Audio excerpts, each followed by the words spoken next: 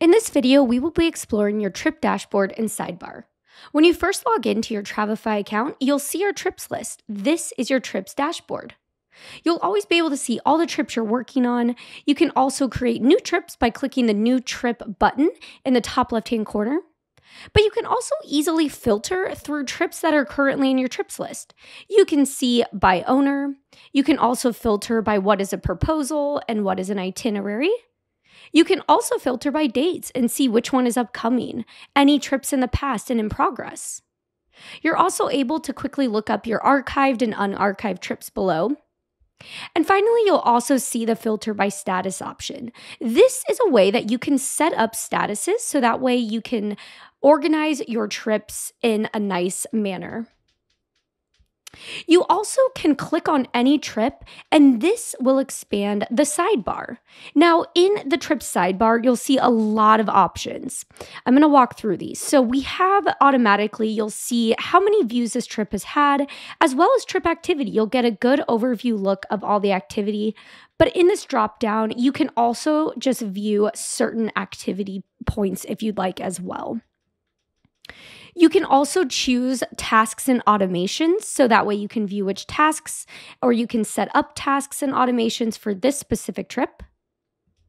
You can also view the chat. If you're chatting with your client, you'll be able to quickly view the chat here, and you can also reply or chat a message to them. You can see who has been part of this trip, or you can also go ahead and just quickly send them the trip itinerary from here just by clicking that send button in the right.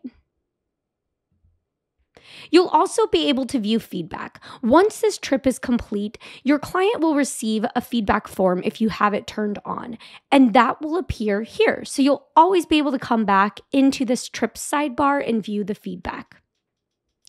Now, you also can do some high level things like if you click edit, this will take you into the trip builder. So when you click edit, it brings you into that trip builder like so. Now, I'm going to take a step back again. So I'm going to click on the trips button in the top left hand corner. Now I'm going to click on that trip once more. Now we're back in the same view. You can also click the preview button, which will give you a quick look of what this trip looks like for your clients. You also can click the copy button to create an entirely new copy of this itinerary, or you can also choose to archive this trip. Once it's archived, you can always find it in your archived folders over here on the left hand side. The last couple things you can do here is you can also go ahead and change the owner if you're on a team by clicking this drop down menu. You can change the type of this trip to a proposal. You can also change the status, and that status is over here on the left hand side again, where you can filter through statuses. The last thing you can do in here is if you ever need to make quick setting changes, you can always click on the name of this trip or on that dial. And then this will go ahead and open up a new screen so you can change the name, price, and change any high level information in that trip settings without going into that trip builder. So, thank you so much for watching and make sure to check out more of our getting started videos.